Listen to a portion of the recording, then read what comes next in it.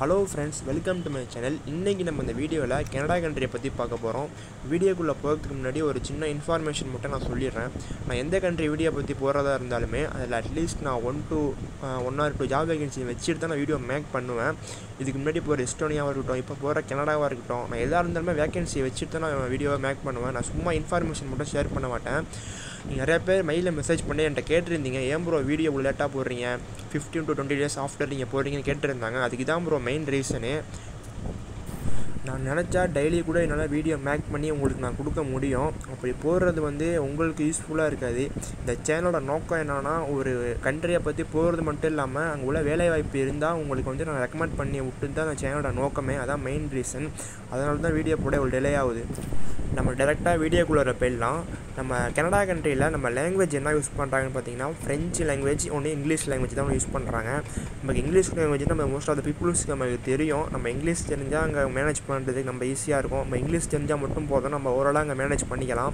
அப்புறம் கரன்சி பார்த்துடலாம். கரன்சி பார்த்தீங்கன்னா அங்கே வந்து கெனடியன் டாலர்னு சொல்கிறாங்க ஒரு கரன்சி நேமே நம்ம ஊர் மதிப்பு பார்த்தீங்கன்னா ஐம்பத்தி ஒம்பது ரூபா வருது. ஒரு கெனடியன் டாலர் ஐம்பத்தி ஒம்பது ரூபா வருது.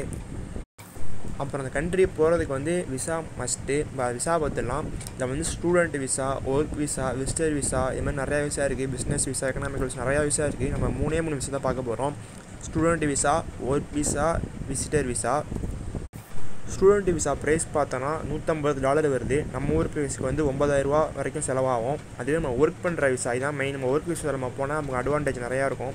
இது பார்த்திங்கன்னா கிட்டத்தட்ட நூற்றி ஐம்பத்தஞ்சு டாலர் வருது. நம்ம ஊர் கரன்சி பார்த்திங்கன்னா ஒம்பதாயிரத்தி நானூறுரூவா சம்திங்கில் வரும். அப்புறம் வந்து விசிட்டர் விசா இது பார்த்தீங்கன்னா கிட்டத்தட்ட நூறு டாலர் வரைக்கும் வருது. இது பார்த்தீங்கன்னா ஆறாயிரரூவா வரைக்கும் நம்ம ஒரு கரன்சிக்கு வரும். அப்புறம் நம்ம ஃப்ளைட் டிக்கெட் பார்த்தோன்னா நம்ம ஃப்ளைட் டிக்கெட் வந்து ரெண்டு லட்ச ரூபா வரைக்குமே இருக்குது நம்ம வந்து இதெல்லாம் பணம் பார்த்தீங்கன்னா கிட்டத்தட்ட எண்பதாயிரரூவா தொண்ணூறாயிரரூவாயும் எழுபதாயிரரூவா கூட நம்ம சீப்பான ஃப்ளைட்டு கூட இருக்குது நம்ம டிக்கெட் கிடைக்கிறது தான் நமக்கு வந்து கஷ்டம். நம்ம டிக்கெட் கிடைச்சா நம்ம அதில் போகிறது நமக்கு வந்து பெஸ்ட்டு ஃப்ளைட் டிக்கெட் பார்த்தீங்கன்னா கிட்டத்தட்ட அறுபதாயிரரூவாலேருந்து ரெண்டு லட்ச ரூபா வரைக்குமே ஃப்ளைட் டிக்கெட் வந்து சேலாகிட்டு தான் இருக்குது அப்புறம் அங்கே வந்து பிஆர் வாங்க. நமக்கு வந்து ஃபைவ் இயர் அங்கே இருக்கணும். கிட்டத்தட்ட எழுநூற்றி முப்பது நாள் நம்ம அந்த கண்ட்ரியில் இருந்தோம்னா நம்ம வந்து ஈஸியாக பிஆர் கிளைம் பண்ணிக்கலாம்.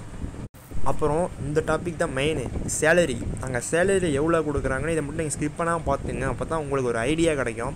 அங்கே சேலரி வந்து நம்ம நார்மல் ஜாப்பு நான் இதுக்கு அப்புறம் நான் சொல்கிறேன் நம்ம நார்மல் ஜாப் சின்ன ஜாப் பண்ணாலே பர் ஹவருக்கு ஃபிஃப்டீன் டாலர் எப்போ தான் நம்ம ஏர்ன் பண்ணலாம். ஃபிஃப்டீன் டாலர் வந்து நம்ம ஊர் கரன்சி பார்த்தீங்கன்னா தொள்ளாயிரரூவா ஆல்மோஸ்ட் வருது. அது எவ்வளோனா ஒன் ஹவர் ஒர்க் பண்ணால் ஃபிஃப்டீன் டாலர் தொள்ளாயிரரூவா அதுவே நம்ம வந்து ஒரு எயிட் ஹவர்ஸ் ஒர்க் பண்ணுறோன்னா ஃபிஃப்டீன் டாலரும் ஃபிஃப்டீன் டாலர் வந்து நீங்கள் எயிட் ஹவர்ஸ் கால்குலேட் பண்ணிங்கன்னா கிட்டத்தட்ட ஒரு நாளைக்கு நூற்றி இருபது கெனடியன் டாலர் வருது.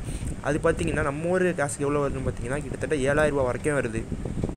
அது அப்படியே நீங்கள் வந்து பர் மந்த்துக்கு பார்த்தீங்கன்னா நீங்கள் ஒரு நாளைக்கு நூற்றி இருபது கெண்டியன் டாலர் சம்பாரிச்சிங்க. இன்ட்டு முப்பது போட்டிங்கன்னா கிட்டத்தட்ட மூவாயிரம் ரூபாய்க்கு மேலே வரும். நம்ம ஊர் கரன்சிக்கு பார்த்தீங்கன்னா நீங்கள் கிட்டத்தட்ட ஒன்றரை லட்ச ரூபா ரெண்டு லட்ச ரூபாய்க்கு மேலேயே நீங்கள் வந்து யான் பண்ணலாம் கனடா கண்ட்ரியில் கனடா கண்ட்ரியில் பொறுத்த வரைக்கும் இதான் சேலரி தான் பெஸ்ட்டு நிறையா கொடுப்பாங்க. நிறையா நம்ம யான் பண்ணலாம். நம்ம நிறையா சம்பாதிக்கலாம். அப்புறம் அங்கே நம்ம என்னென்ன ஜாப் பார்த்தா அங்கே எவ்வளோ சேலரி கொடுப்பாங்க நிறைய பேருக்கு கேள்வி இருக்கும். அது இந்த செக்ஷனில் நீங்கள் பாருங்கள் நான் கிளியர் பண்ணுறேன் முதல்ல அன் அன் அன்ஸ்கில்டு ஜாப் பார்த்துடலாம். அன்ஸ்கில்டு ஜாப் முதல்ல வரது எதுன்னு பார்த்தீங்கன்னா டிரைவரு இப்போ டிரைவரை நம்ம அங்கே யான் எவ்வளோ ஏர்ன் பண்ணலான்னு பார்த்தீங்கன்னா மந்த்துக்கு டூ தௌசண்ட் ஃபைவ் ஹண்ட்ரடுக்கு மேலே ஏர்ன் பண்ணலாம் நீங்கள் கிட்டத்தட்ட ஒரு லட்சத்தி ஐம்பது ரூபாய்க்கு மேலே நீங்கள் வந்து டிரைவராக அங்கே ஏர்ன் பண்ணலாம். நான் சொல்கிறது வந்து இது கம்மி தான். நீங்கள் அங்கே போனீங்கன்னா நிறையா ஏர்ன் பண்ணலாம். கிட்டத்தட்ட ரெண்டு ரூபா ரெண்டு ரூபா ரெண்டரை லட்ச ரூபா நீங்கள் எவ்வளோ வேணுமா ஏர்ன் பண்ணலாம். டிரைவர் ஜாப்பில் அதுக்கப்புறம் ஸ்டோர் கீப்பர். நம்ம ஏதாச்சும் கடையில் வேலை பார்த்துருந்தோம்னா கிட்டத்தட்ட ரெண்டாயிரம் கெனடியன் டாலருக்கு மேலே கொடுப்பாங்க. நம்ம ஊர் கரன்சிக்கு எவ்வளோ வருதுன்னு பார்த்தீங்கன்னா கிட்டத்தட்ட ஒன்றரை லட்ச ரூபாலேருந்து மேலே நீங்கள் ஏர்ன் பண்ணலாங்க. அதுக்கப்புறம் நம்ம எங்கேயாவது ரெஸ்டாரண்ட்டில் நம்ம வெயிட்டராக இருந்தோன்னா கிட்டத்தட்ட மூவாயிரத்தி நூற்றி நூறு டாலருக்கு மேலே கெனடியன் டாலருக்கு மேலே கொடுக்குறாங்க. நம்ம ஊர் கரன்சிக்கு எவ்வளோ வரும்னு பார்த்தீங்கன்னா கிட்டத்தட்ட ஒரு லட்சத்தி எழுபது ரூபாய்க்கு மேலே வரும். அதுக்கப்புறம் நம்ம ரெஸ்டாரண்ட்டு மாலில் எங்கேயாச்சும் நம்ம கேஷியர் ஜாப் தெரிஞ்சு நம்ம அந்த ஜாப் பார்த்தோன்னா கிட்டத்தட்ட சேலரி வந்து மூவாயிரத்தி எழுநூறு கெண்டியன் டாலர் கொடுக்குறாங்க. நம்ம ஊர் கரன்சிக்கு பார்த்தீங்கன்னா கிட்டத்தட்ட ரெண்டு லட்சத்தி இருபதாயிரம் மேலே நம்ம ஏர்ன் பண்ணலாம். அப்புறம் வந்து செஃப்பு உங்களுக்கு செஃப்பு தெரியும்னா நீங்கள் அங்கே டேரெக்டாக போய் ட்ரை பண்ணலாம். செஃப்புக்கு வந்து அவ்வளோ வாய்ப்பு இருக்கும். செஃப்பு கிட்டத்தட்ட நீங்கள் வந்து ஐயாயிரம் ரூபாய்க்கு மேலே கிடையாது டாலர் நீங்கள் ஏர்ன் பண்ணலாம். நம்ம ஊர் கரன்சிக்கு மூன்றரை லட்ச ரூபாய்க்கு மேலே நீங்கள் சம்பாதிக்கலாம். செஃப்பில் வந்து அவ்வளோ வேலை வாய்ப்பு இருக்குது செஃப்பு தெரிஞ்சால் போதும். அப்புறம் இன்ஜினியர் சேலரி பார்த்துலாம் நிறைய இன்ஜினியர்ஸ் இருப்பீங்க இந்தியாவில் நீங்கள் அங்கே போனீங்க கனடாவில் நிறைய இன்ஜினியர்ஸ் ஆப்பர்ச்சுனிட்டிஸ் இருக்குது கிட்டத்தட்ட பர் மந்த்துக்கு எட்டாயிரம் கேண்டியன் டாலருக்கு மேலே நீங்கள் சம்பாதிக்கலாம். நம்ம ஊர் கண்ட்ரிக்கு பார்த்தீங்கன்னா நாலு லட்ச ரூபா அஞ்சு லட்ச ரூபாய்க்கு மேலே நீங்கள் ஏர்ன் பண்ணலாம். ஆனால் நம்ம இங்கேருந்து போகிறது தான் கஷ்டமாக தவிர அங்கே இன்ஜினியரிங் ஜாப்ஸ் வேகன்சி ஏகப்பட்டது இருக்குது அதுக்கப்புறம் நம்ம ஏதாச்சும் ஃபேமிலியில் வந்து நம்ம வெஜிடேபிள் பிக் பண்ணுறதா இருந்தால் கிட்டத்தட்ட ரெண்டாயிரம் கேண்டீன் அளவுக்கு மேலே கொடுக்குறாங்க. ஒரு லட்சத்தி இருபதாயிரம் மேலே நம்ம ஏர்ன் பண்ணலாம்.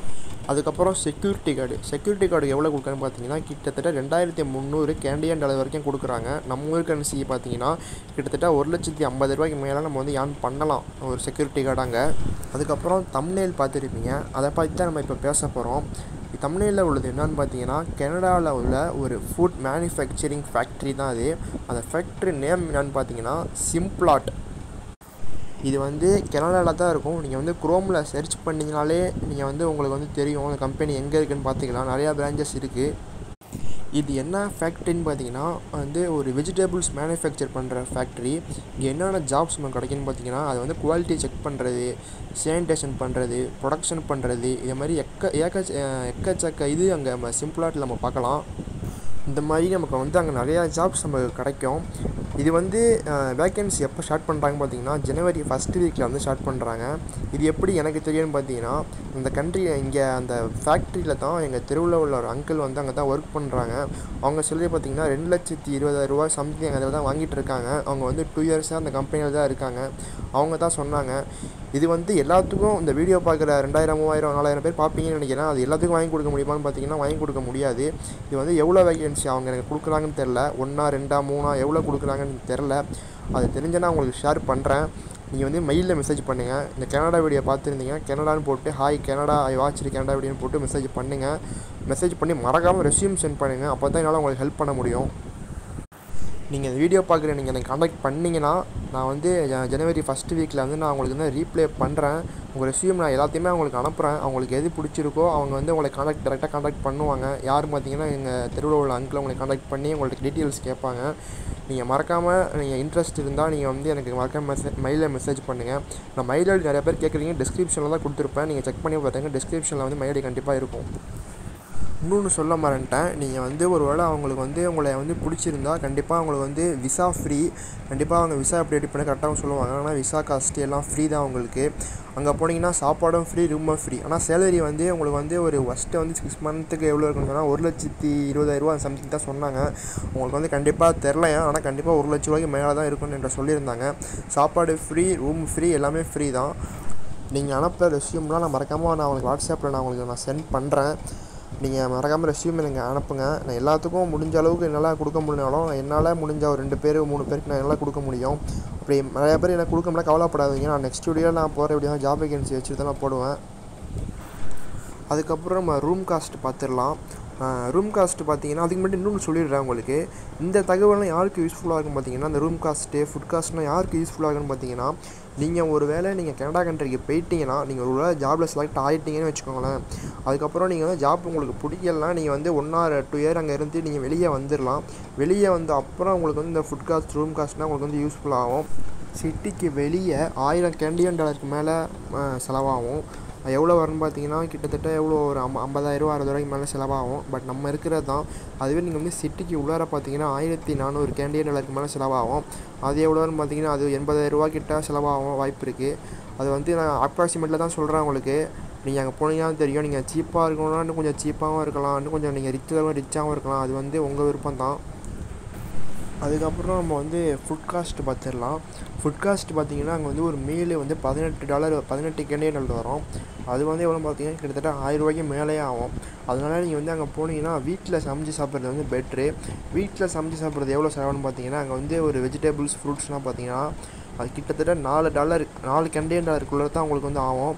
நீங்கள் வந்து அதை வச்சு நீங்கள் வந்து பர் வீக்கே நீங்கள் ஓட்டிடலாம். வெஜிடபிள்ஸ்னால் டொமேட்டோ ஆனியன் எல்லாமே சேர்த்து தான் சொல்கிறேன் அது வந்து கிட்டத்தட்ட ஃபோர் கண்டியன் டாலர் கிட்ட தான் ஆகும். அதுவே நீங்கள் பனானா அதெல்லாம் எடுத்திங்கன்னா அது வந்து ரெண்டு டாலர் மூணு டாலர் ஆகும். அதுக்கப்புறம் மில்க் மெயினாக நீங்கள் வந்து அங்கே போனீங்கன்னா சாப்பிடுவீங்க. அதே போல் பார்த்தீங்கன்னா two point five Canadian dollar வரைக்கும் வரும். அதுக்கப்புறம் வாட்டர் மெயினாக பார்த்தீங்கன்னா அரை லிட்டர் வாட்டர் வந்து கிட்டத்தட்ட ரெண்டு கேண்டியன் டாலர் வரைக்கும் அங்கே வந்து விற்கிறாங்க அதுக்கப்புறம் கேப்பாசினோ ஒரு காஃபி நம்ம வந்து ஈவினிங் டைமில் கேப்பாசினோ குடிக்க போகிறதா இருந்தால் அது வந்து கிட்டத்தட்ட ஃபைவ் டாலர் வரைக்கும் செலவாகும். அதுக்கப்புறம் நம்ம அங்கே போனீங்கன்னா இன்டர்நெட் ஃபெசிலிட்டிஸ் அது எவ்வளோ செல செலவாகும்னு பார்த்தீங்கன்னா கிட்டத்தட்ட எண்பது கேண்டியன் டாலர் வரைக்கும் செலவாகுது. அது எவ்வளோ வரும் பார்த்தீங்கன்னா கிட்டத்தட்ட நாலாயிரத்தி எட்நூறுவா ஐயாயிரரூவான்னு வச்சுக்கோங்களேன். ரவுண்டாக ஐயாயிரரூவா கிட்ட செலவாகும். அங்கே வந்து இன்டர்நெட்டு ஸ்பீட்னா பார்த்தீங்கன்னா அல்லும் அவ்வளோ அறுபது எம்பிபிஎஸ் ஸ்பீடுக்கு மேலே கிடைக்கும். அதுக்கப்புறம் நம்ம அங்கே போய் ஃப்ரீ டைமில் ஜிம்முக்கு ஜாயின் பண்ண போகிறதா இருந்தால் அது வந்து கிட்டத்தட்ட ஐம்பது கேண்டியன் டாலருக்கு மேலே செலவாகும். அதுக்கப்புறம் டிரான்ஸ்போர்ட் பார்த்தோன்னா டிரான்ஸ்போர்ட் வந்து டாக்ஸியில் போகிறதா இருந்தால் ஒரு கிலோமீட்டருக்கு ரெண்டு கேண்டிடேட் வரைக்கும் வாங்குறாங்க. அதுக்கப்புறம் லோக்கல் டிரான்ஸ்போர்ட்டு பஸ்ஸில் கிஸ்ஸில் போகிறதா இருந்தால் த்ரீ பாயிண்ட் டூ ஃபைவ் டாலருக்கு மேலே அங்கே வந்து கேண்டிடேட் வாங்குறாங்க. அங்குள்ள டிரான்ஸ்போர்ட் செலவுனா பார்த்தீங்கன்னா இவ்வளோ தான் அங்கே வந்து டிரான்ஸ்போர்ட்னால் செலவாகும். அதுக்கப்புறம் நான் சொன்ன அந்த சிம்பிளாட் கம்பெனி ஜாப் ஆப்பர்ச்சுனிட்டி மட்டும் நீங்கள் விட்றாதீங்க நீங்கள் மைலில் எனக்கு வந்து கண்டிப்பாக ரெஸ்யூம் நீங்கள் மெசேஜை ஃபார்வர்ட் பண்ணுங்கள் நான் கண்டிப்பாக நான் உங்களுக்கு அதை ஃபார்வர்ட் பண்ணி விட்றேன். அது கண்டிப்பாக உங்களுக்கு யூஸ்ஃபுல்லாக இருக்கும்.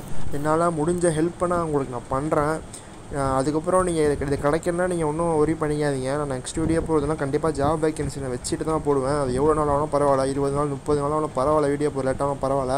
நான் கண்டிப்பாக ஜாப் வேக்கன்சி வச்சுட்டு தான் போடுவேன். அதுக்கப்புறம் சொல்ல மாட்டேன். இதுக்கு முன்னாடி எஸ்டோனியா ஜாப் நான் சொல்லியிருந்தேன் தெரியுமா?